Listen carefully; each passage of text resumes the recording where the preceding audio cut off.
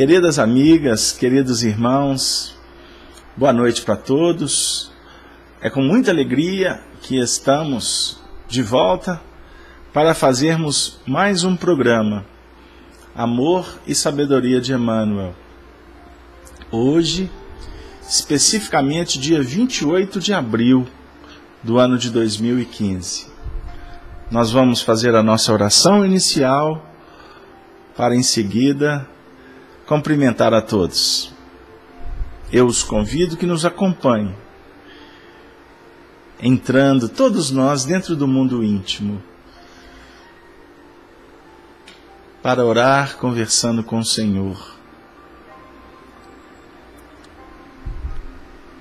Senhor da vida,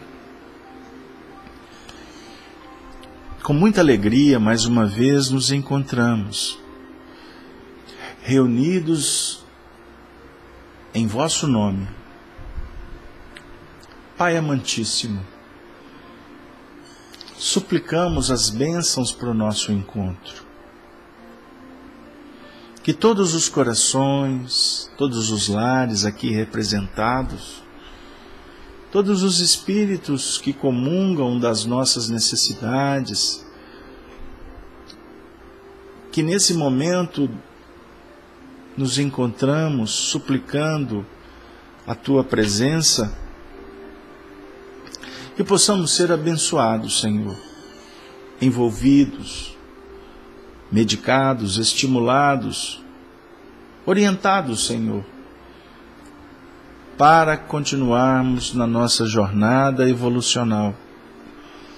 Senhor, que o nosso programa, o nosso encontro, possa estar envolvido pelas vibrações sacrossantas do teu amor e da tua paz. Que possamos, Senhor, juntos, sermos intuídos, inspirados, para recolhendo os elementos que tu há de nos oferecer, consigamos, Senhor, implementá-los na nossa intimidade. Que possamos chegar ao final do trabalho, todos, felizes e confiantes que estaremos, Senhor, por certo, sendo convidados para operacionalizar todos os elementos aqui distribuídos.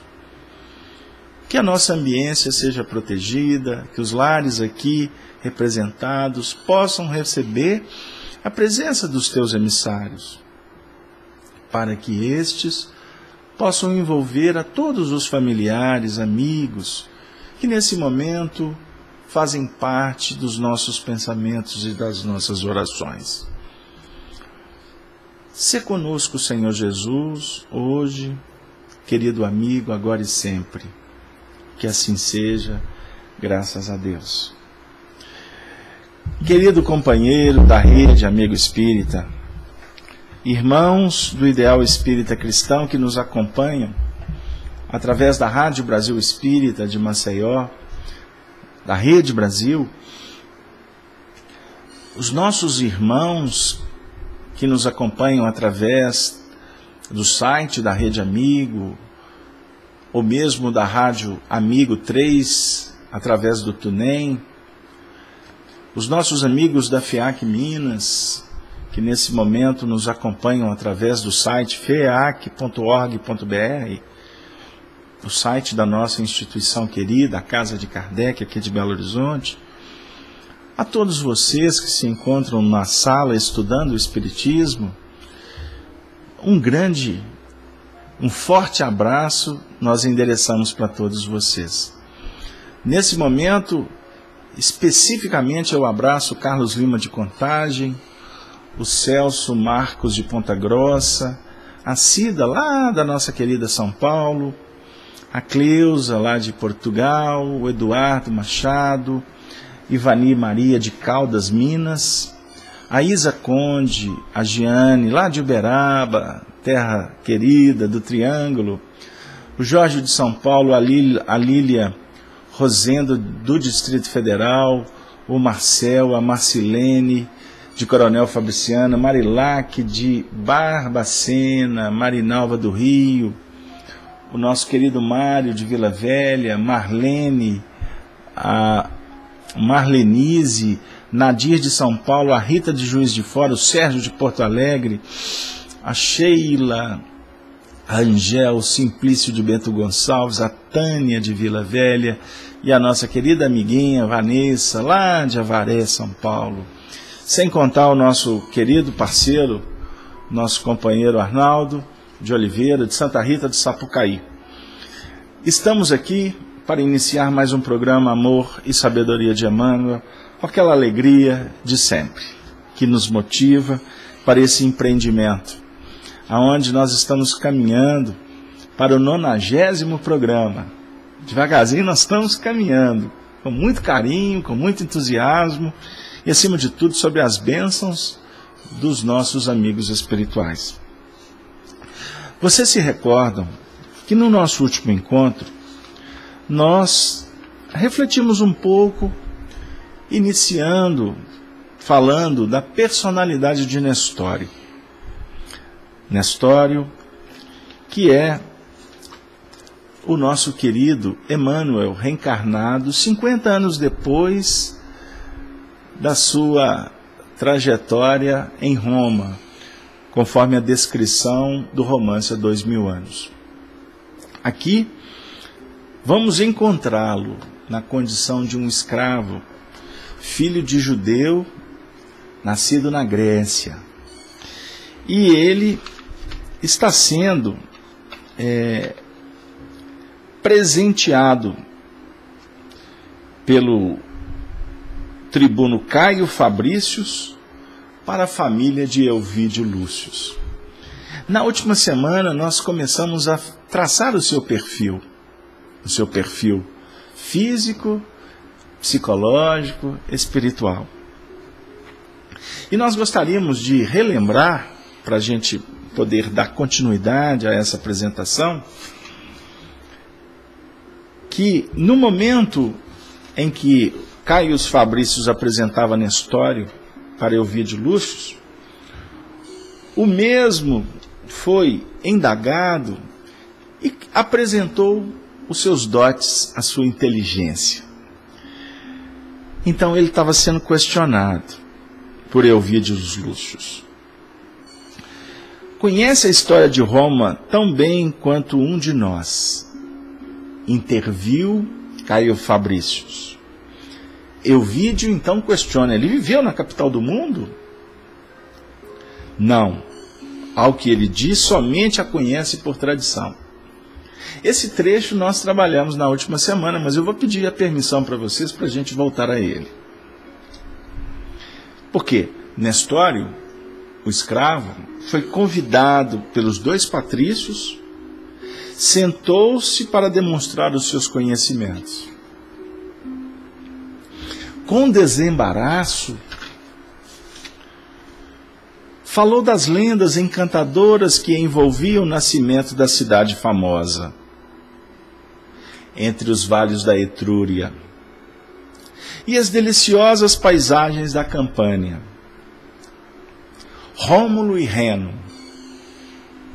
a lembrança de Aca Larentia, o rapto das Sabinas, eram imagens que, na linguagem de um escravo, broslavam-se de novos e interessantes matizes. Em seguida, passou a explanar o extraordinário desenvolvimento econômico e político da cidade. A história de Roma não tinha segredos para o seu intelecto. Remontando à época de Tarquínio Prisco, falou de suas construções maravilhosas e gigantescas, detendo-se em particular na célebre rede de esgotos, a caminho das águas lodosas do Tibre. Lembrou a figura de Sérvio Túlio, dividindo a população romana em classes e centúrias. Numa Pompílio, Menênio, Agripa, os Gracos, Sérgio Catilínia, Cipião Nazica e todos os vultos famosos da República foram recordados na sua exposição, onde os conceitos cronológicos se alinhavam com admirável exatidão. Os deuses da cidade, os costumes, conquistas, generais intrépidos, e valorosos eram com detalhes indelevelmente gravados na sua memória. Seguindo o curso dos seus conhecimentos, rememorou o império nos seus primórdios, salientando as suas realizações portentosas desde o faustoso brilho da corte de Augusto. As magnificências dos Césares, trabalhadas pela sua dialética fluente, apresentavam novos coloridos históricos em vista das considerações psicológicas acerca de todas as situações políticas e sociais. O escravo não só apresentava a sua desenvoltura mnemônica, seus registros, conforme Emmanuel apresenta, no encadeamento perfeito, dentro da cronologia que a história apresenta. Lembrando também que ele, nesse movimento que o estimulava tanto, buscava a, na sua própria contabilidade pessoal estes feitos, muitos fatos, que ele mesmo participou de alguma sorte. Por isso que aqui ele cita Cipião, que foi uma encarnação dele mesmo, Sérgio Catilínia, quando ele foi o próprio Sura, o bisavô do senador Lentulus, conforme nós estudamos, refletindo em torno do há dois mil anos. Enfim, por muito tempo falara Nestório dos seus conhecimentos do passado. Quando eu vi de Lúcio sinceramente surpreendido, o interpelou. Onde conseguistes essa cultura? Radicada em nossas mais remotas tradições? Eis agora o posicionamento de Nestório. Senhor, tenho manuseado todos os livros da educação romana ao meu alcance, desde moço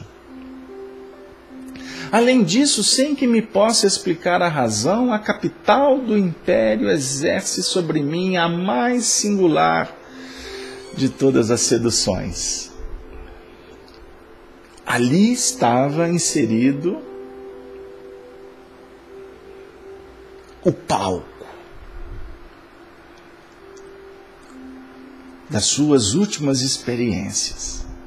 Por isso é que exercia sobre ele a mais singular de todas as seduções. Isso aqui, inclusive, nos fala da identidade que a gente vai criando quando nos deparamos com paisagens, com culturas, com livros que remontam a determinados pontos da história.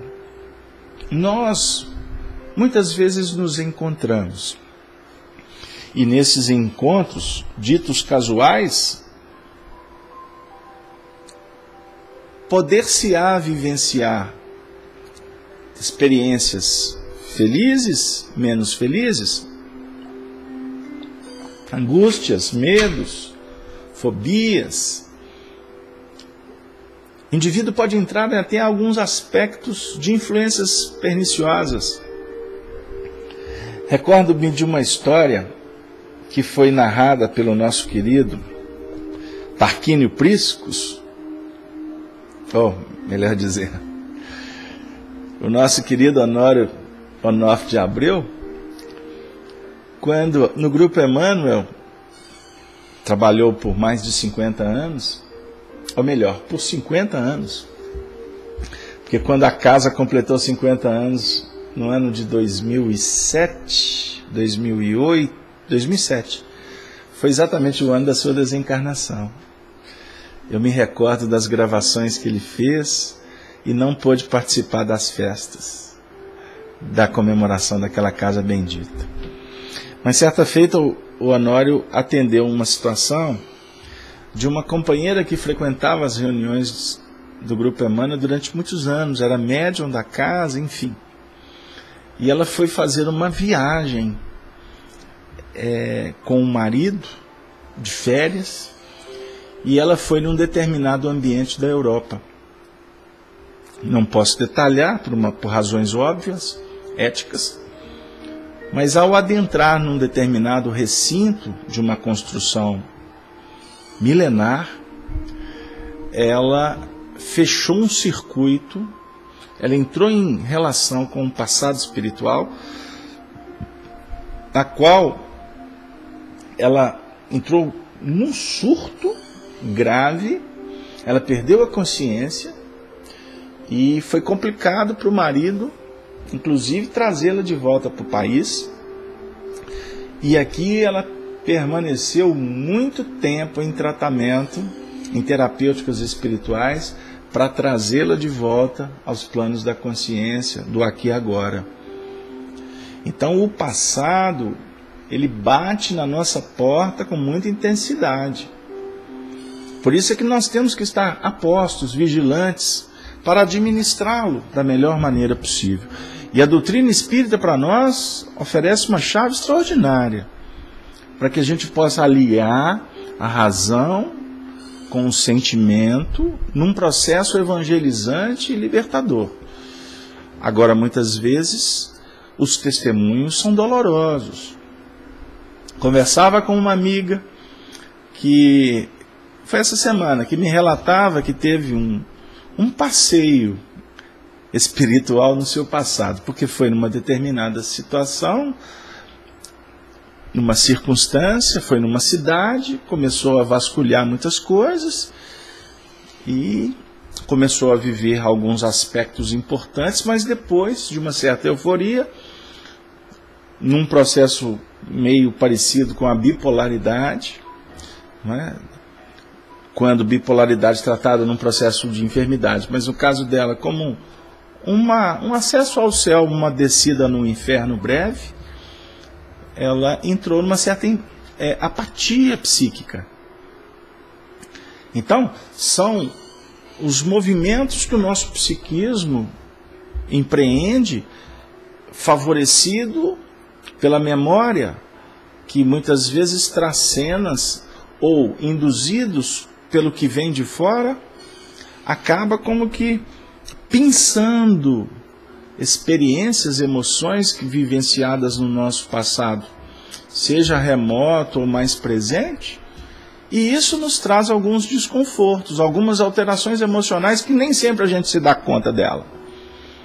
Médios muitas vezes batem na nossa porta para perguntar, mas não estou entendendo o que, que anda acontecendo comigo. Teoricamente eu estou bem, não tem motivo nenhum, por exemplo, para estar é, vivendo, um exemplo, uma angústia, uma certa depressão, aí dentro do próprio movimento doutrinário espírita, através das atividades assistenciais, é, é, atividades terapêuticas, é, reuniões medianímicas, de repente espíritos são tratados, para não dizer que o próprio espírito do médium, vez por outra, é tratado e com isso, como que vai havendo um saneamento para que ele possa respirar e partir para outra senda, para outros comprometimentos, seja ao nível íntimo quanto no envolvimento com as entidades que a espiritualidade permite serem envolvidas ou aproximadas do medianeiro para o devido trato, para o atendimento no seu sentido mais amplo. E graças a Deus, eu vou fazer uma observação.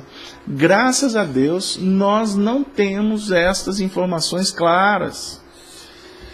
Porque isso traria para nós um grande desconforto dentro de, desse nosso trabalho na horizontal do mundo. Horizontal a simbolizar as nossas relações com os semelhantes no aqui e agora. Então são pontos que a doutrina espírita pode significar para nós uma chave que vai abrir portas e darmos e avançarmos, vamos dizer assim, avançarmos na direção da luz. Bom, vamos voltar? Ora, Caio Fabrícios disse, Nestório tanto conhece um livro de Salústio como uma página de Petrônio. Os autores gregos, igualmente, não têm segredos para ele. Considerada, porém, a sua predileção pelos motivos romanos, quero acreditar, haja ele nascido ao pé de nossas portas. ao pé de nossas portas que ele nasceu. E tinha que ser mesmo, ele não podia ter entrado, ele tinha que ficar na porta.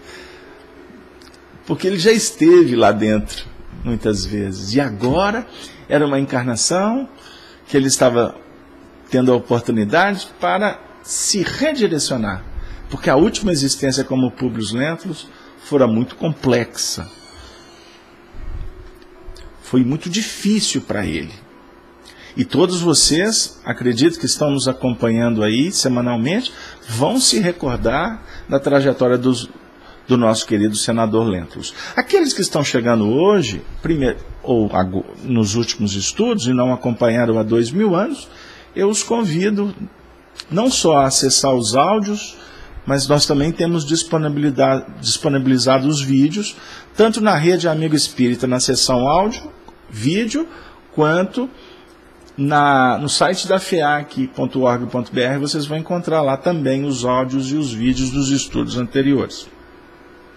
E agora está sendo postado também na Rádio Brasil Espírita, através do site que está sendo construído pela coordenação na, na pessoa do Márcio. Né? Então nós vamos ter mais uma rede aí atendendo às necessidades de toda de todos os cristãos que estão buscando o conhecimento doutrinário espírita.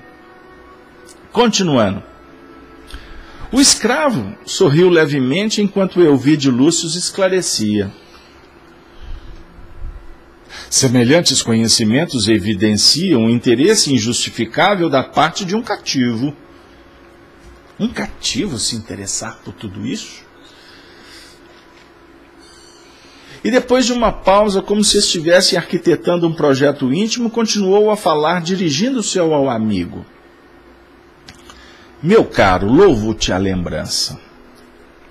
Minha grande preocupação no momento era obter um servo culto que pudesse incumbir-se de enriquecer a educação de minhas filhas auxiliando-me simultaneamente no arranjo dos processos de Estado, a que agora serei compelido pela força do cargo. O anfitrião mal havia concluído seu agradecimento quando surgiram na sala a esposa e as filhas num gracioso cromo familiar. A história está esquentando. Está ficando interessante. Agora nós vamos trazer a figura de Alba Lucínia, que ainda não atingira os 40 anos. Conservava no rosto os mais belos traços da juventude, a iluminarem o seu perfil de Madonna. Junto das filhas, duas primaveras risonhas, seu aspecto de mocidade ganhava um todo de nobres expressões vestalinas, confundindo-se com as duas como se lhes fora irmã mais velha, ao invés de mãe extremosa e afável. Alba Lucina, Lucinia, a esposa de Ovídios Lúcius. Aqui a gente já pode trazer mais informações.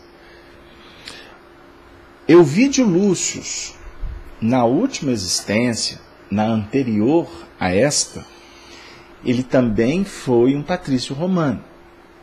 Ele foi senador, amigo de Públio Lentulus. Ele se chamava Pompílio Crasso. Euvídios Lúcius era um espírito ou é um espírito vinculado a esse grupo familiar, esse grupo espiritual.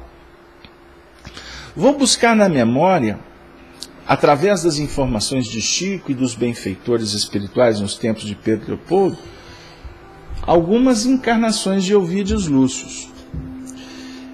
Ele foi Cirilo Davenport, lá no romance Renúncia. Não percam, estudem essa obra também.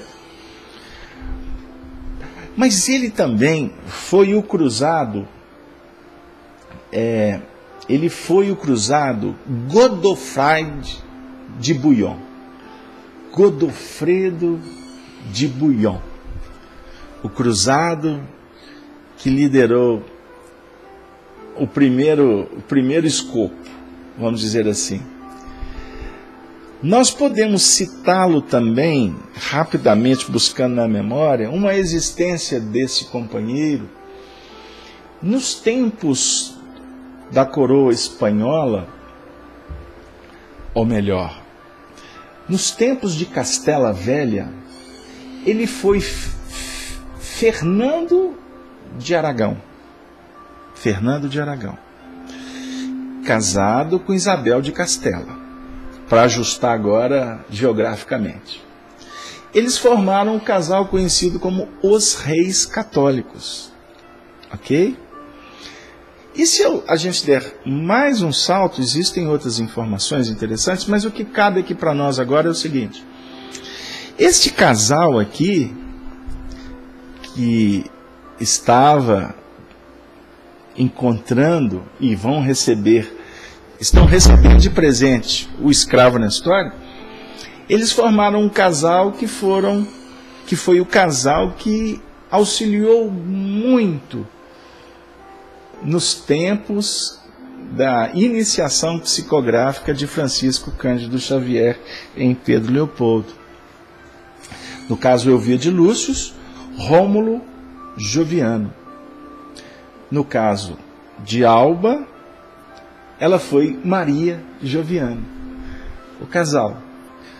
Rômulo Joviano era, vamos dizer assim, ele era o patrão, ou ele era o coordenador de Chico Xavier lá no Ministério da Agricultura. Ele era o responsável por todo aquele estabelecimento. E Chico Xavier é um funcionário público sob a tutela dele. Então, Rômulo Joviano, durante muitas décadas, a família Joviano realizava um culto do Evangelho lá na sede da fazenda onde eles moravam, com a presença de Chico Xavier, trazendo mensagens belíssimas, que foram editadas recentemente pela editora Vinha de Luz. Né? Uma série de livros que tem mensagens muito interessantes. Né? Mensagens de a maioria de cunho pessoal, familiar, mas a gente encontra muitos ensinamentos, informações inclusive, que nos ajudam a entender uma série de injunções que favoreceram, é, que deram segurança para o trabalho que Chico Xavier foi desenvolvendo ao longo do tempo. Mas naqueles momentos iniciais em Pedro Leopoldo, este casal teve uma importância, por certo, muito, muito séria no resguardo, na proteção, na orientação do nosso querido Chico Xavier, aquele jovem que estava dando seus primeiros passos na mediunidade. Continuando. Então, o que aconteceu? Semelhantes conhecimentos evidenciam o interesse injustificável da parte de um cativo. Mais à frente, é?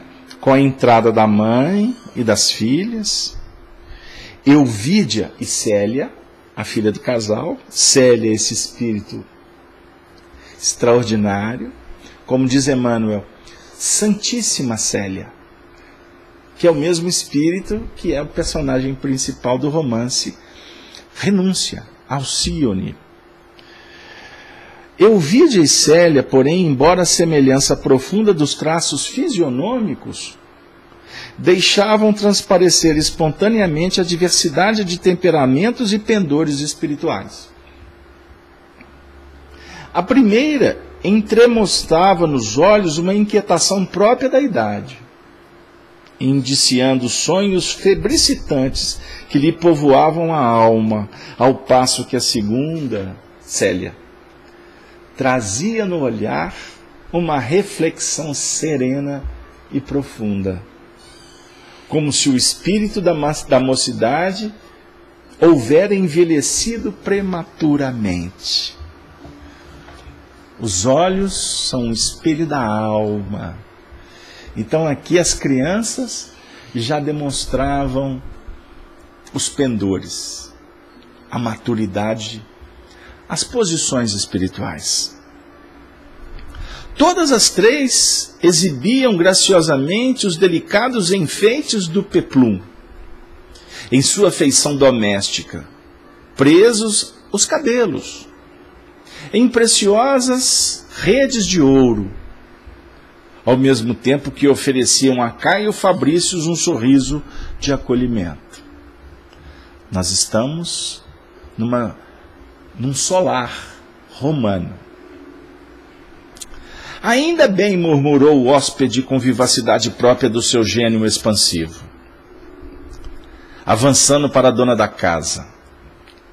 O meu grande Euvídio encontrou o altar das três graças, entronizando-as egoisticamente no lar.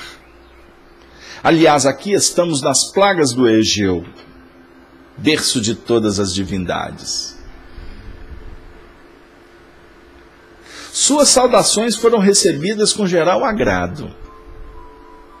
Não somente Alba Lucínia, mas também as filhas se regozijavam com a presença do carinhoso amigo da família de muitos anos. Em breve, todo o grupo se animava em palestra amena e sadia. Era o burburinho das notícias de Roma, de mistura com as impressões da Idumeia e de outras regiões da Palestina, onde Ovídio Lúcio estagiara junto da família enfileirando-se as opiniões encantadoras e íntimas acerca dos pequeninos nadas de cada dia. Em dado instante, aqui que a gente queria ter chegado, o dono da casa chamou a atenção da esposa para a figura de Nestório. encolhido a um canto da sala, acrescentando entusiasticamente.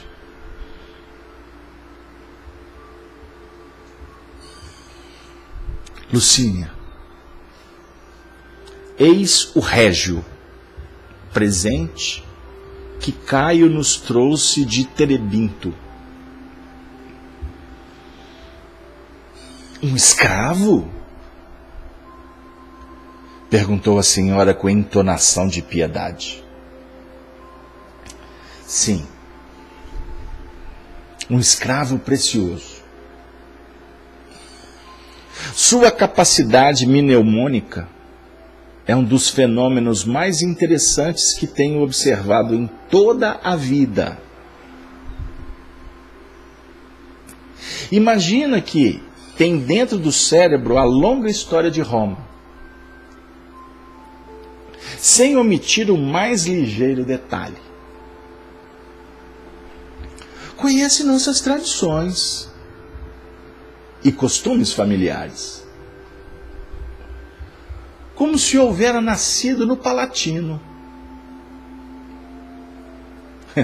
Ele nasceu no Palatino na vida anterior. Desejo sinceramente tomá-lo a meu serviço particular utilizando-o ao mesmo tempo no apuro da instrução de nossas filhas. Em tese, esse fato se repetiu lá na casa dos Jovianos, quando residiam na fazenda modelo em Pedro Leopoldo. Alba Lucínia fitou o desconhecido tomada de surpresa e simpatia. Por sua vez, as duas jovens o contemplavam admiradas. como todos nós aqui agora, vislumbrando as cenas. Porque elas estão sendo plasmadas. Nós estamos entrando em sintonia com uma história verdadeira. Não é fruto da tua imaginação, eu garanto. Embora a imaginação pode dar outros coloridos, de acordo com os interesses pessoais e intransferíveis de cada um. De nós, medianeiros que estamos na sala agora.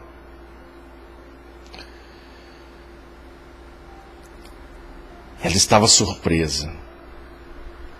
Saindo, contudo, da sua estupefação, a nobre matrona ponderou refletidamente. Eu vídeo. Eu vídeo. Sempre considerei a missão doméstica como uma das mais delicadas de nossa vida. A missão doméstica como a mais das mais delicadas da nossa vida. A matrona romana falando.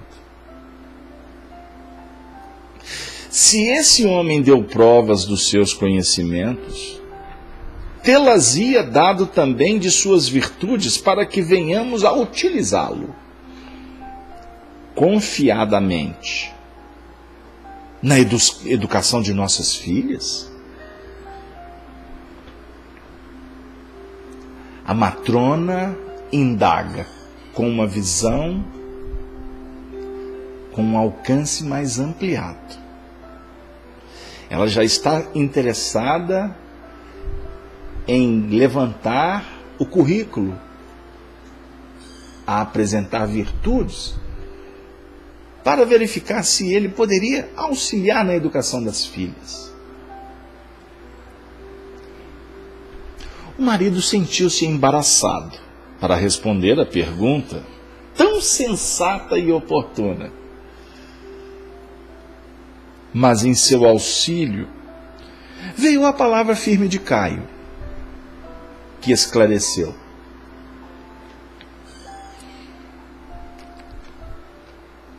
eu vou-la dou, minha senhora. Se o vídeo pode abonar-lhe a sabedoria, posso eu testificar as suas nobres qualidades morais. Eles estão no primeiro, no segundo século da era cristã. Aqui nós estamos por volta do ano de 132. Alba Lucínia pareceu meditar por momentos, acrescentando afinal com um sorriso satisfeito.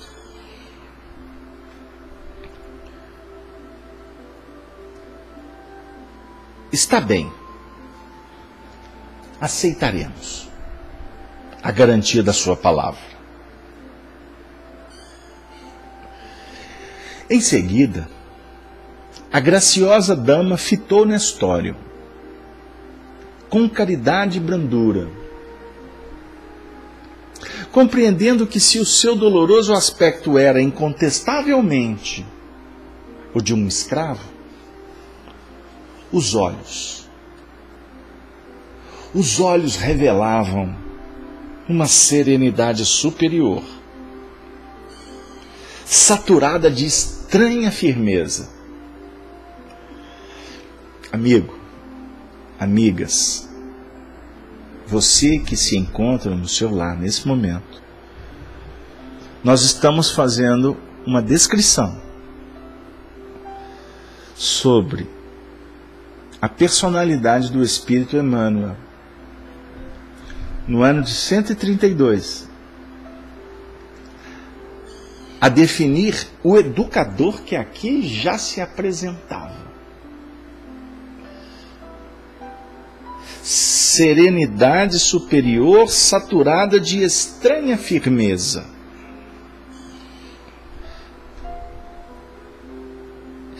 Depois de um minuto de observação acurada e silenciosa, Voltou-se para o marido, dizendo-lhe algumas palavras em voz quase imperceptível, como se pleiteasse a sua aprovação, antes de dar cumprimento a algum de seus desejos. Euvídio, por sua vez, sorriu ligeiramente, dando um sinal de aquiescência com a cabeça. Voltando-se então para os demais, a nobre senhora falou comovidamente. Caio, Fabrícios, eu e meu marido resolvemos que as nossas filhas venham a utilizar a cooperação intelectual de um homem livre. E tomando de minúscula varinha, que descansava no bojo de um jarrão oriental, a um canto da sala, tocou levemente a fronte do escravo, obedecendo às cerimônias familiares com as quais o Senhor libertava os cativos na Roma imperial, exclamando: Nestório, nossa casa te declara livre para sempre.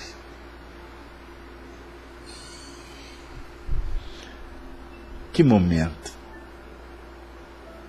extraordinário para um espírito.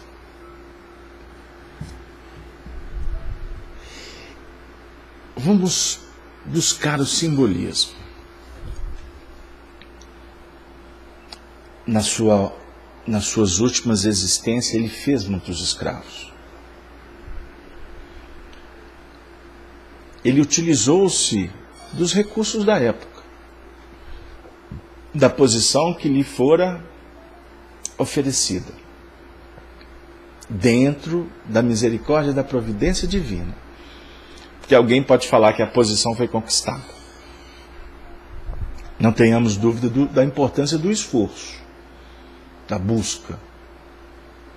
Mas não adianta você se esforçar e buscar se a providência divina não lhe oferecer a porta aberta. E isso bate na nossa intimidade como um convite à humildade. Porque celebridade costuma ser apenas caminhos que são abertos para testar o indivíduo,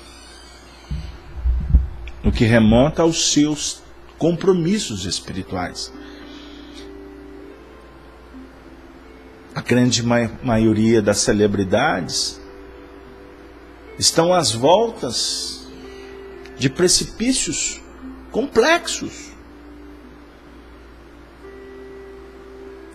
Se emoldurarem os painéis que os alimentam na dimensão da vaidade. O favorecimento do mundo, aquelas conquistas que, em tese, graduam o indivíduo, mas que trazem muitas dificuldades no que remonta à administração íntima. Todos nós, com uma vida simples, fácil, ou uma vida complicada, difícil, estamos tendo uma oportunidade do alto. Por isso é que compete a todos nós valorizarmos os empreendimentos que o Senhor nos colocou. Não pensemos que foi você que entrou. Embora o tempo todo a gente não pode olvidar a importância da procura, do esforço, da luta ele suplicou ao Senhor reencarnar como escravo. Observe, e um escravo judeu, semita, porque muitos ele os fez. Quanto romano, quando teve poder, ele virou as costas para um convite direto de Jesus, quando apresentou para ele um caminho de libertação. E ele optou pelo aprisionamento, pela escravidão, dentro de, uma dimensão extremamente temporal. Jesus falava para ele de atemporalidade, falava para ele de imortalidade, mas ele preferiu as questões que envolvem as respostas rápidas desencarnou, como todos sabemos, cego, tateando nas sombras que ele mesmo criou, mas em busca de uma renovação extraordinária.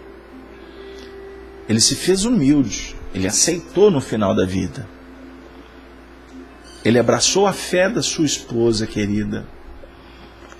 O crucifixo de Simeão passou seu, seu referencial.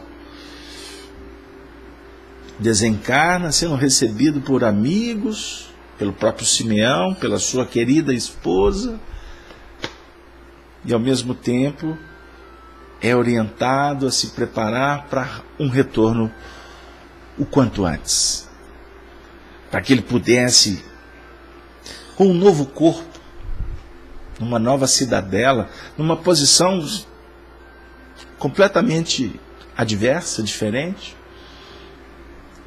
ele pudesse a entender o que, que é você ser escravo e o que, que você ser filho. Conforme Paulo de Tarso fala para nós nas suas cartas. O escravo, ele vai receber ordens do seu senhor. Mas ele fica transitoriamente na casa é diferente do herdeiro, do filho. O filho, o filho veio para ficar sempre. O filho herda. Ele é o herdeiro do pai. Então existe uma diferença na evolução espiritual que Jesus nolo revela, que nós precisamos de estudar com muita calma, com muita prudência. Em que aspecto que nós somos servos, escravos? O escravo, servo, ele recebe diretivas. Ele precisa do que vem de fora para dentro. O filho não. O filho já conquistou. O filho já herda. O seu trabalho os frutos da semeadura que ele mesmo está implementando. Agora é muito interessante porque nós estamos falando do filho que ainda tem o pai. Porque quando o pai parte e fica só o filho como herdade, com a herdade, o filho tem que honrar o pai para ele poder fazer uma boa administração do que ele recebe como herdade. E para ele honrar o pai, ele se torna um trabalhador, um administrador dos patrimônios que o pai lhe ofereceu. Então, ele tem que trabalhar num, numa dimensão em que ele precisa de ter autonomia, responsabilidade, capacidade, habilidade para que ele realmente seja o empreendedor como o pai o foi. Então, quando ele se conscientiza, ele vai para um terceiro estágio. Ele percebe que ele precisa de ser servo do trabalho. Então, observe, nessa condição de servo do trabalho, ele passará a, a se disciplinar, a investir, motivado pelo desejo de acertar, de administrar bem, de multiplicar os talentos. Então, para ele não importa servir. Importa é que o trabalho aconteça. Então, assim operando, ele efetivamente vai ser um herdeiro promissor. Porque ele entendeu que foi legado para ele recursos e que para que esses recursos se mantenham, ele precisa de se envolver no trabalho, amando o trabalho, dando a vida pelo trabalho, para que ele seja não só mais o filho, aquele filho que herdou, mas aquele filho que se encontra numa condição de se tornar unigênito com o pai. Porque, como herdeiro, na condição de primogênito, de se fazer o mais velho, aquele que tem que administrar, num primeiro movimento ele pode não compreender. Embora para herdar existe uma intervenção da misericórdia divina. Por isso é que nem sempre a gente entende por que, que o recurso chegou, o talento está na tua mão. É misericórdia. Mas se está na tua mão, compete a você. Compete a você, a todos nós, entender, verificando se nós somos escravos do que chegou para as, nossas mãos, ou se nós estamos na condição de herdeiros, para nos fazer não escravos, porque nós somos descendentes de escravos, mas escravos no sentido de servos do trabalho, por opção, por amor, por devoção, por comunhão com Deus o Senhor da vida. E aí cabe aqui uma outra reflexão.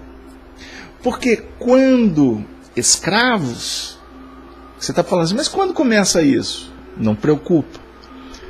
Se você for no âmbito literal, quando começa, posso dizer, quando nasceu. Mas eu quero trazer essa reflexão para o campo íntimo ainda. Porque existem nas nossas intimidades, quanto aprendizes, como espíritos imortais, valores que já estão por nós sendo herdados. Eis porque Jesus diz assim: honrai o teu pai e a tua mãe. Honrar o pai e a mãe, no seu sentido profundo da análise, da exegese aqui doutrinária espírita, Honrar o pai é honrar as tuas conquistas, o teu passado, as tuas habilidades. O Nestório que tinha habilidades extraordinárias, inteligência, memória, sedução pela causa que ele viveu. Ele tinha que se apoiar aonde? Ele tinha um manancial.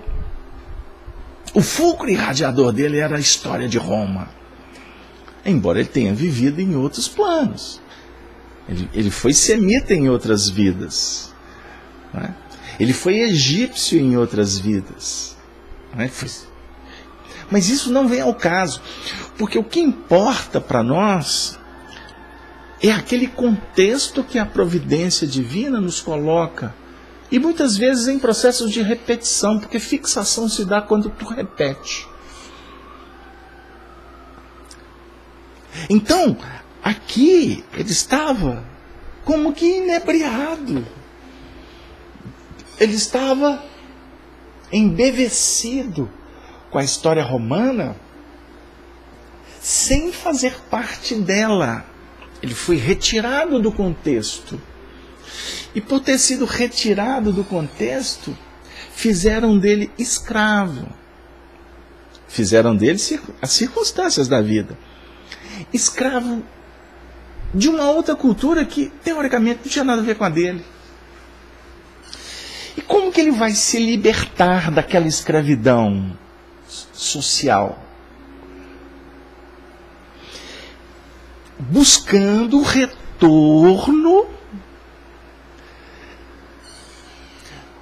naquela situação em que ele era livre, porém escravo do sistema. Então, como que você vai se libertar de um, escra... de um sistema que você se sente escravizado? Muitas vezes a providência divina nos retira para respirarmos, para viajarmos, para vestir outra indumentária. No caso, um corpo de carne. Mas vai chegar um momento em que a providência divina vai te trazer de volta numa situação diferente para que você possa, a partir daquele movimento que foi escravizante, embora livre, né? no caso, né, Publius Lentos era, ele tinha autoridade, queridos amigos. Vocês se recordam quando ele foi para a Palestina como representante, tribuno do próprio Tibério César?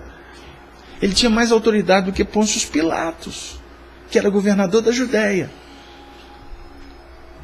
Lembram do, do julgamento de Jesus, aquela história, daquele contexto todo? Ele, por injunções políticas, por exemplo, não exerceu a autoridade dele para não desautorizar. Para não desautorizar Pôncio Pilatos mas ele deixou de exercer a justiça, que ele já estava encabulado. Ele já estava, ele já estava sendo convidado a reflexões profundas, porque ele estava, por exemplo, diante do espírito que é a essência da evolução dele, da sua, da minha, que é Jesus.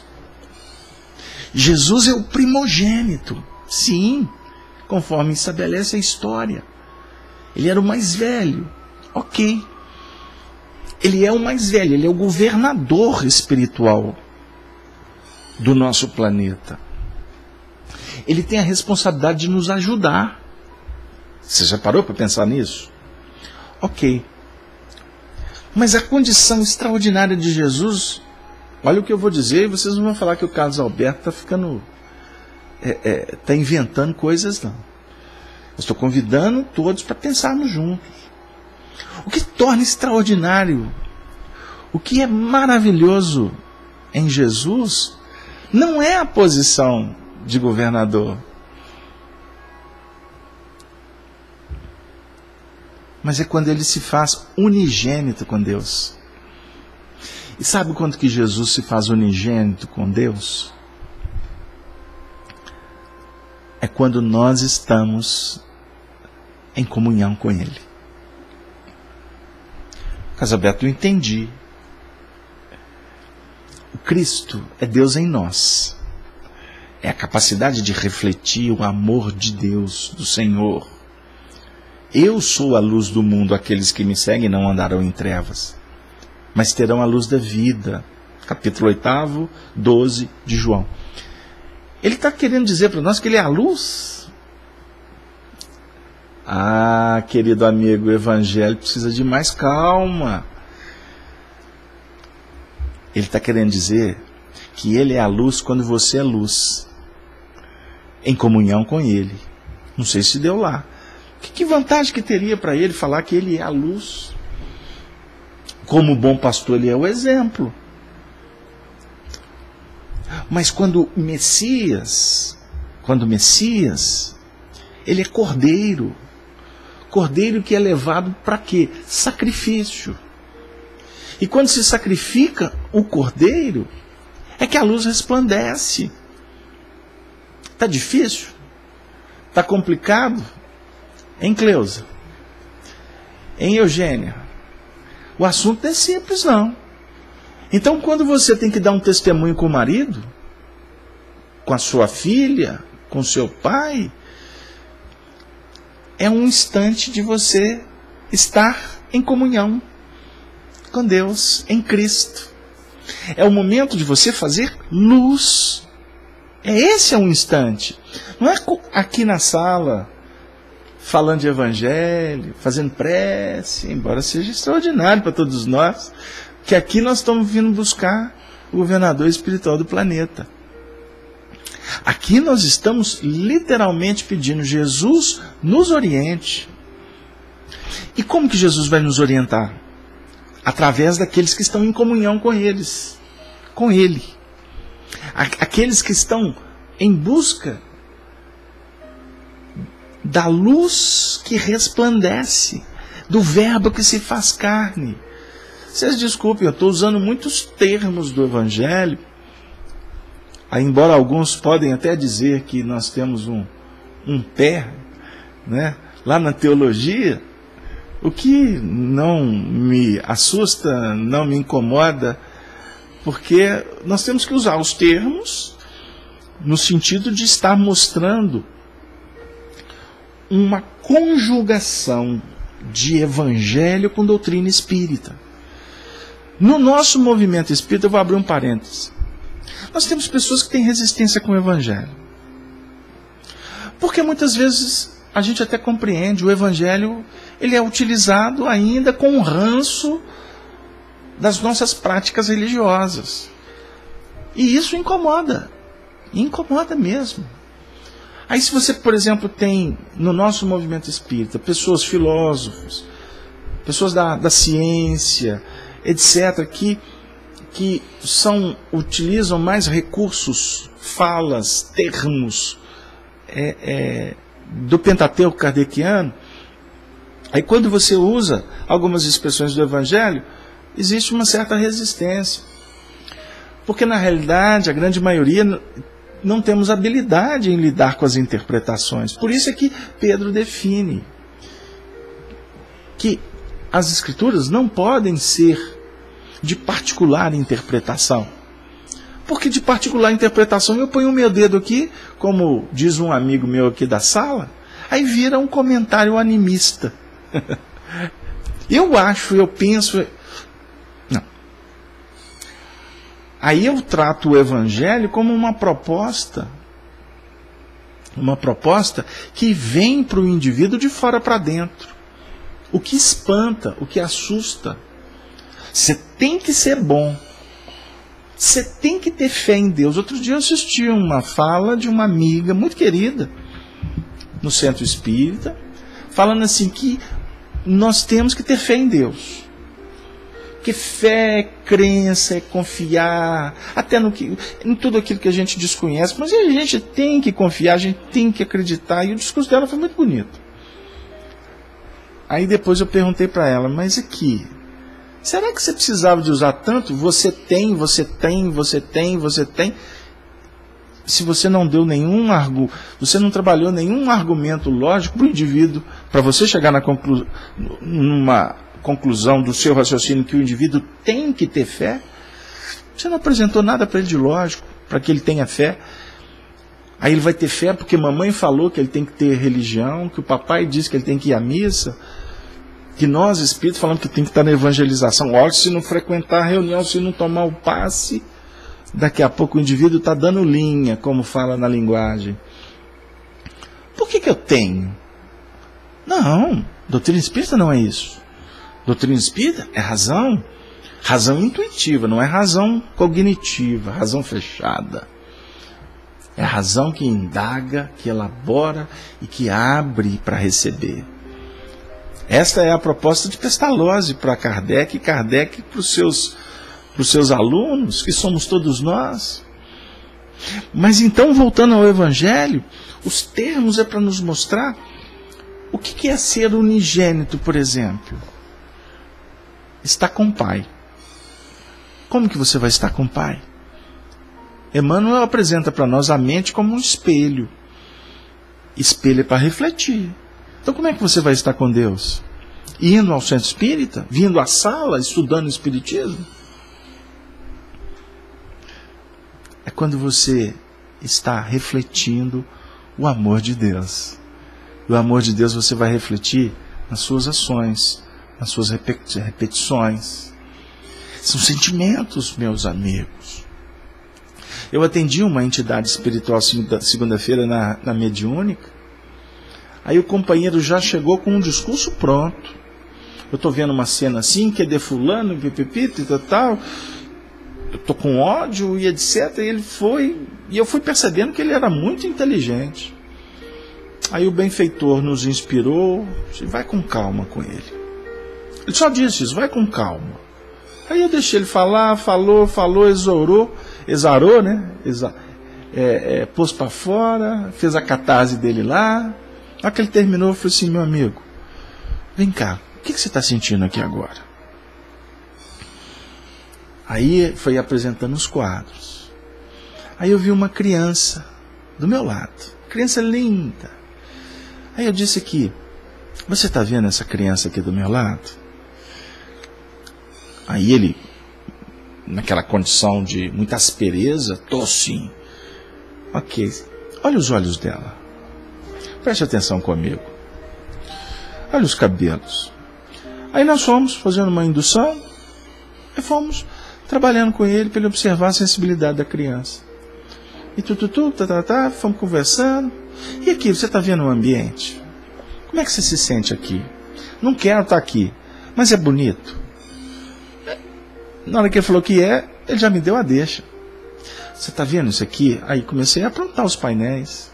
Aí fui fazendo uma vinculação do, do psiquismo dele com os painéis, com a criança, etc, etc. E por fim eu falei assim: aqui, amigo, Vamos sentir esse ambiente. Não vamos pensar no ambiente, não. Vamos sentir. Como é que você se sente do lado de uma criança? Fomos caminhando. Obviamente com a coordenação espiritual, porque sozinho não, não ia, com certeza, percorrer esse caminho. Talvez iria ficar indagando com ele, pontuando, etc, etc. Aí por fim ele falou assim: é. Você não me convenceu, não mas eu estou me sentindo bem. Aí eu falei assim, mas eu não queria te convencer de nada, não, meu amigo.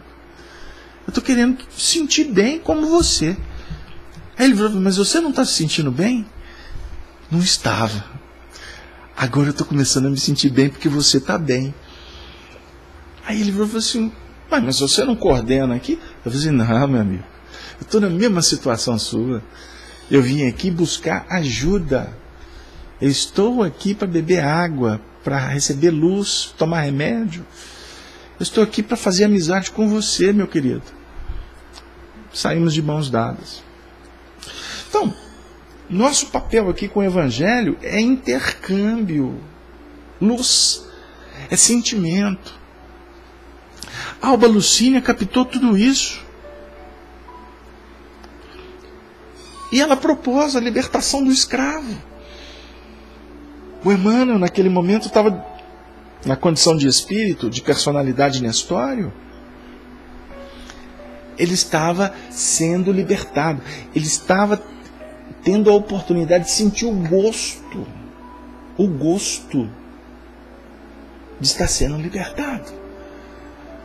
Embora ainda não seria a libertação que ele precisava. E tomando de minúscula varinha, ela disse: Nestório, nossa casa te declara livre para sempre. Para sempre. Ele entendeu isso lá no século II. Tem 1800 anos. São 18 séculos que ele foi libertado. E libertado, o que, que ele procurou para ele? Servir o Cristo. estava sendo libertado da escravidão do mundo, do ódio, do orgulho, do egoísmo. Então, se libertar do que aprisiona, você precisa de uma garantia, amigo. Você precisa de honrar. Você tem que. Estes benfeitores que libertaram ele, você vai ter que honrar. Como ele teve que honrar. O benfeitor que libertou é o de Lúcio, não tenha dúvida que foi um, uma dívida de gratidão que eles estão discutindo ela, com muito carinho, para mim brincar com você. Mas o de Lúcio foi instrumento. Alba Lucínia foi instrumento. Porque ele estava sendo libertado pelo Cristo. Estava sendo dado para ele uma chance dele afirmar se iria ou não continuar escravo ou liberto. Vocês se recordam quando Paulo diz assim: Eu prego Cristo em cadeias? Quando, quando o anjo foi abrir a cadeia, ele não aceitou. Lembra dessa passagem? E ele, ele pregava o evangelho com a cela aberta para os soldados que estavam tomando conta dele, os romanos, que estavam presos, ele estava livre. O amor liberta, minha amiga. O que aprisiona é paixão, sedução. Isso aprisiona. Mas o amor, ele garante voos ao inimaginável. Nestório, nossa casa te declara livre para sempre. Filhas, continuou a dizer sensibilizada, dirigindo-se às duas jovens Nunca humilheis a liberdade deste homem, que terá toda a independência para cumprir os seus deveres. Nunca humilheis a liberdade desse homem. Quantas cenas a gente vê na sociedade? De pessoas espezinhando semelhante, querendo se mostrarem donas, prepotência, orgulho.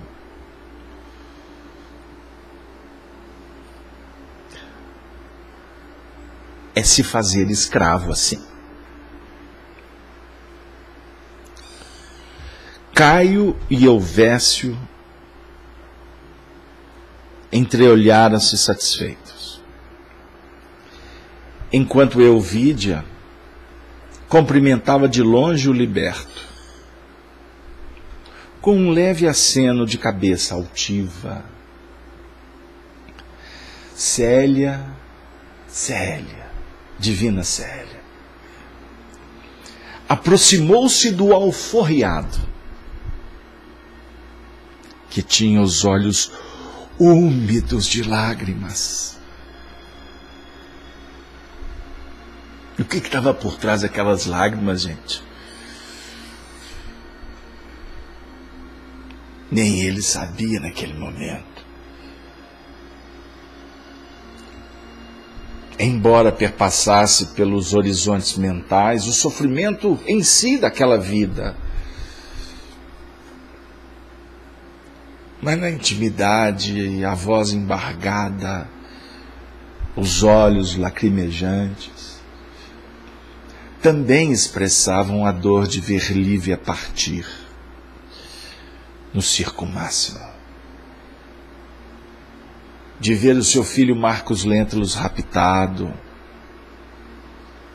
sua filha enseguecida, Flávia,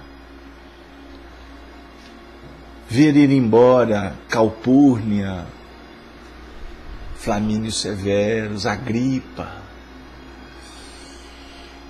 aquela história que encerrou com a desencarnação de Plínio sobre os escombros do Vesúvio, mas também a desencarnação de Ana. Ana, aquela que foi maltratada por ele quando o intrépido senador cruel vilipendiou por 25 anos a sua esposa Lívia. E Ana acompanhou tudo aquele, aquele drama. E como cristã de verdade, foi quem cuidou tanto dele quanto da filha cegos e deu lições, recados extraordinários de cristianismo. Este é o cristão, meu amigo, no mundo. E muitas vezes a gente vê os cristãos se degladiando, disputando, apunhalando, difamando. Não podemos nos considerar cristãos quando eu apunhalo meu irmão pelas costas. As lágrimas visitavam os seus olhos, escorriam pela face, cansada de tanto sofrimento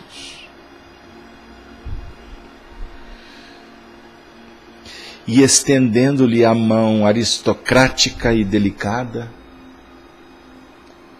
numa saudação sincera e carinhosa. Seus olhos encontraram o olhar do ex-escravo.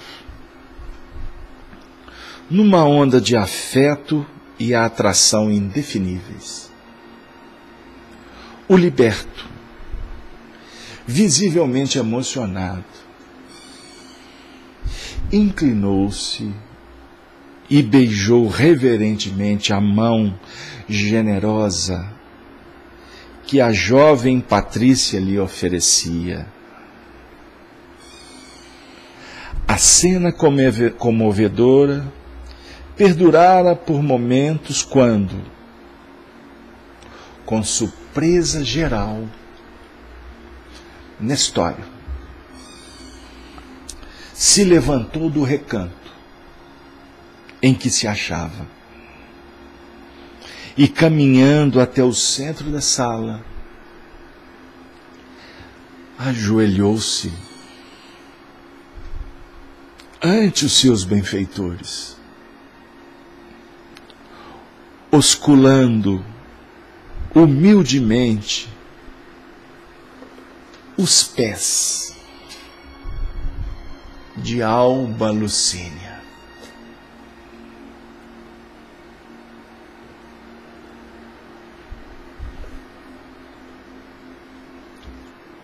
E a gente vê a imagem de Emmanuel. E eu costumo dizer, nós estamos longe do alcance da tarefa sublimar desse apóstolo do Cristo. Continuamos julgando por aparências. E por isso, cada vez mais distante da essência da revelação que o Senhor nos oferece. Os Espíritos do Senhor, querido amigo, amiga espírita cristã, os Espíritos do Senhor se emudecem, eles se apagam a luz se faz diáfana, imperceptível. como agora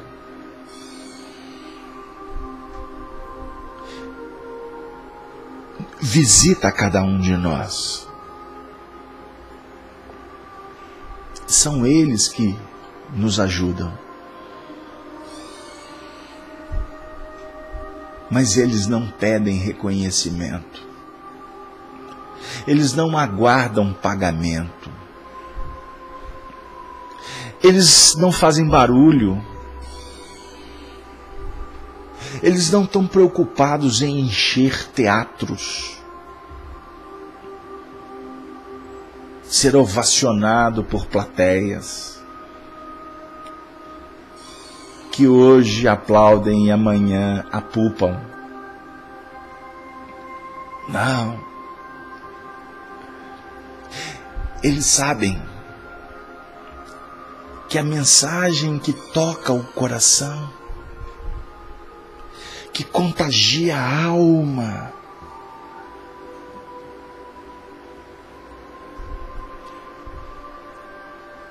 é das, do silêncio que espera. da oração que aconchega, das mãos que afagam, que indicam, do olhar que encanta, pela candura, pelo carinho, pelo respeito, da boca que bendiz, que sorri, que canta, que poetiza, do ombro que sustenta, do braço que só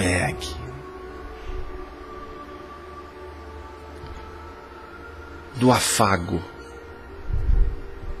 que alimenta.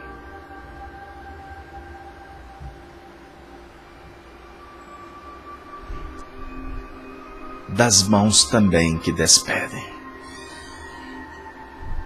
dizendo: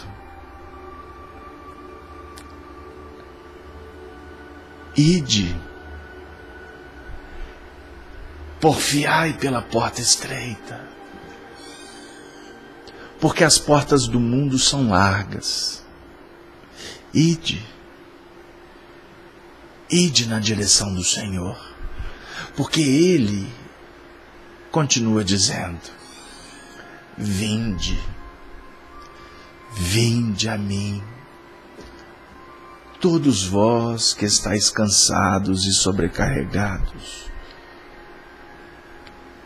que eu vos aliviarei. Mas tomai, meus filhos, sobre vós o meu jugo e aprendei de mim, que sou brando e humilde de coração. Assim encontrareis paz que a paz do Cristo